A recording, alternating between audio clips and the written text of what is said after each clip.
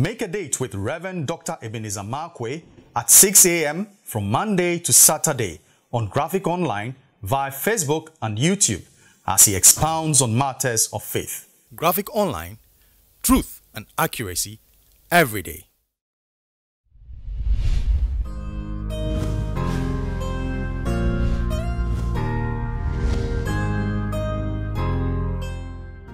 Hello, this is Reverend Dr. Ebenezer Markwei of Living Streams International, bringing you matters of faith with Graphic Online. And this morning, I'd like to capture my thoughts with this word noises in hell. Noises in hell. Noises in hell.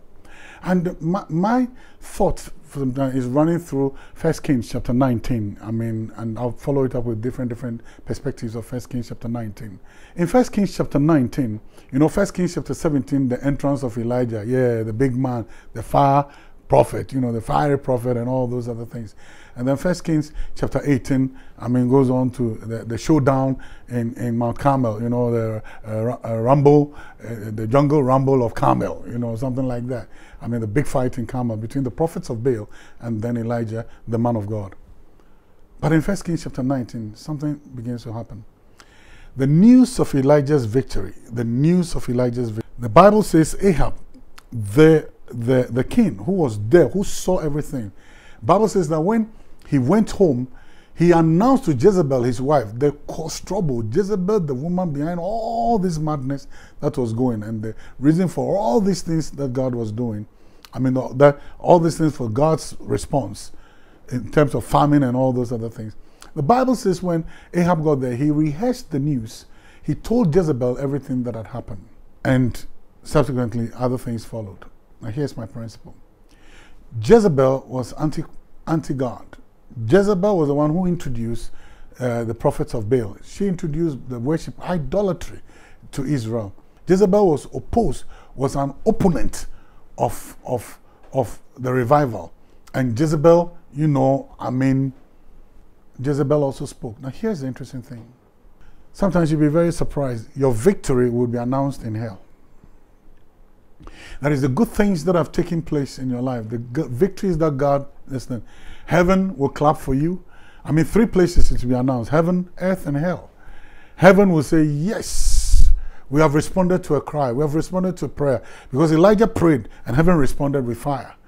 Now, but the interesting thing is that earth would also see it, and earth sometimes you can have great response, applause, you can have ambivalence, that people don't really care, or you can have, I mean, people who don't like it and they don't like it and they don't like it. And definitely, definitely, hell will not be encouraged by your victory. Hell will not be enthused by your victory. Hell will stand up against it. And so here's the interesting thing.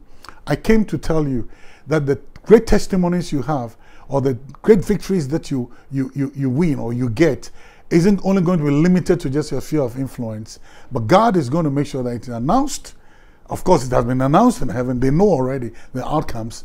But earth may hear it. And of course, hell may also hear it. So listen, your, and here's the interesting thing your victory is no news.